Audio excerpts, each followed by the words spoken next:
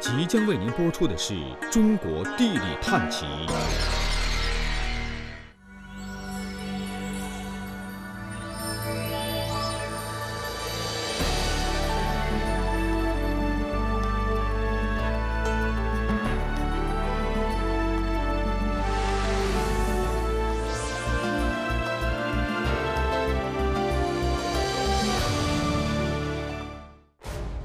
鲁南山区的熊耳山上，发现了两条神秘的大裂谷。是什么力量能在大山腹部撕开这样两条长长的口子呢？位于山东省枣庄市北部山区的熊耳山，2000年突然发现了世所罕见的两条纵横交错、相映成势的近千米长的大裂谷，立即引起社会各界，尤其是专家学者的关注。这到底是怎样的两条大裂谷呢？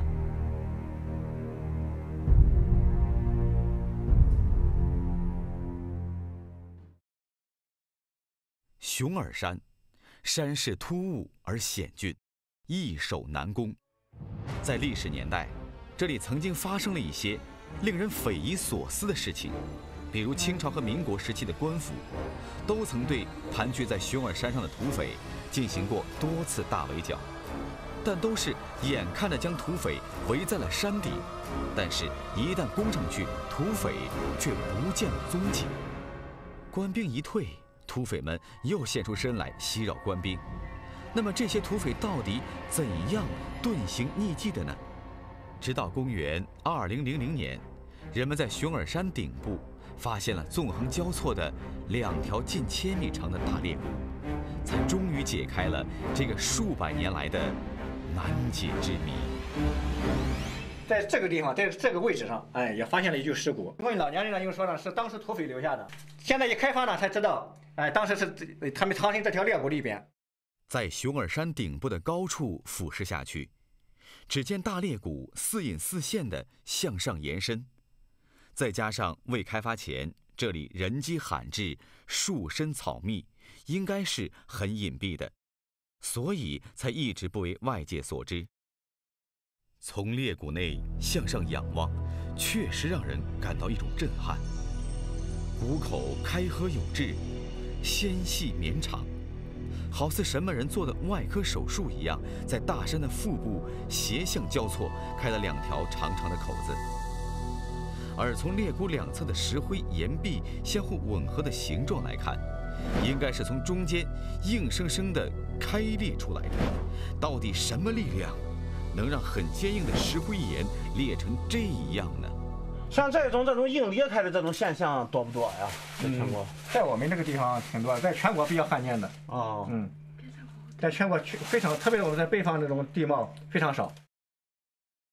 游走一番后，我们大体了解到，这两条裂谷分东西南北两个走向，东西走向为主谷，长六百多米；南北走向为支谷，长约一百多米。因为两谷纵横相连、相映成势，所以被称为双龙大裂谷。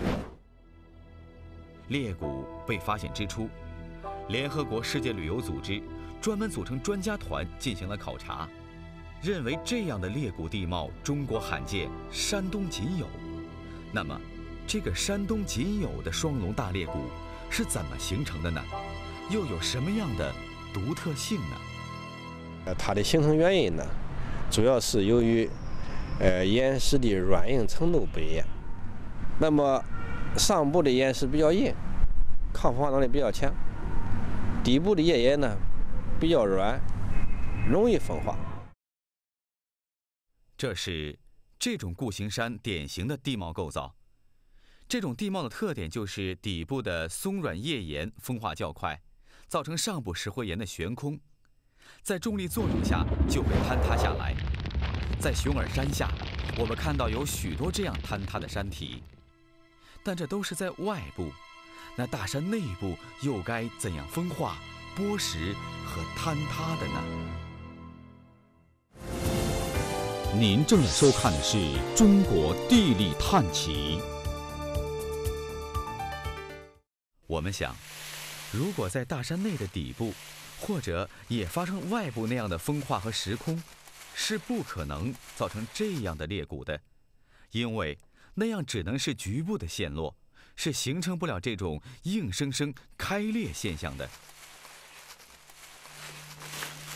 哦，这这是钟，对，这个是当时裂谷形成的那种钟乳石。就把它裂开了，是这个概念对，吗？对本来就是在溶裂开它就把它裸露出来了哈。对对，一般都在洞里头的。对，长得非常慢嘛，有嗯，水的情况下，一百年只能长出一厘米。我们看到，裂谷里的钟乳石壁有很多处，而且都是很厚很厚的，看上去年代已经很久远了。我们现在看到这个钟乳石啊，啊，经过专家同处测定，形成在三百万至二百万年前。嗯，我们的这些大裂谷啊，应该是经过专家测定啊，形成于呢六千七百万年至三百万年之间。我们想，既然裂谷里有这么多年代久远的钟乳石壁，说明这里原来是由一些岩洞组成的山体。果然，我们很快就找到了几处大的溶洞。由此，我们猜想，造成眼前的这样的大裂谷，并不是哪一种因素造成的，而是由多种地质运动形成的结果。首先，应该是山的底部发生了大面积的风化，当底部页岩支撑不了上部的重量时，发生了大面积的下陷。而由于溶洞在山体内部的虚实因素，致使它发生了眼前这种裂谷现象。对，完全可能，这是完全可能。完全可能。像这么规模的大裂隙，呃，这个它的形成主要是由于岩石发生了张裂，形成了一种张性裂隙。地质上就就算是一种张性裂隙，地貌上就是一种这个这个呃一线天生的这种这种地貌特点。赵教授强调，这里不应该叫大裂谷，准确的叫法应该是大裂隙。大裂谷是地球深层作用的地表凹陷构造，以高角度断层为界，呈长条状的地壳下降区，是长达数百至上千公里的大型地质构造，如著名的东非大裂谷等。而裂隙，则是沿地质断裂发育的地貌形态，表现为长度较大，几十米至数千米不等。眼前的双龙大裂隙在形成后，又经受了多种地质灾害才形成的裂隙。一六六八年，应该是清朝的时候，呃，滩城发生了八点五级的大地震。这个地方离滩城震中区呢，只有一百多公里。呃，根据这个破坏程度，这个地方的地震烈度估计也在十个烈度以上。在熊耳山西侧的山崖上，有保存完好的坛城大地震的遗迹。那么这次大地震究竟对大裂谷造成了多大的影响呢？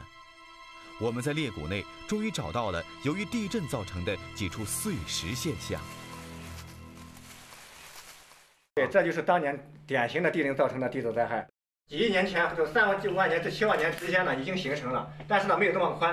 啊，哎，后期受其这个受到地震的影响呢，以这个震动呢，而且加宽了它的这个裂裂缝。哦哎，双龙大裂谷形成了今天我们所看到的自然景观，是经过漫长地质年代的形成，又经过不断的风化、洪水冲刷、地震、雷击、山体滑坡等外力地质作用的结果。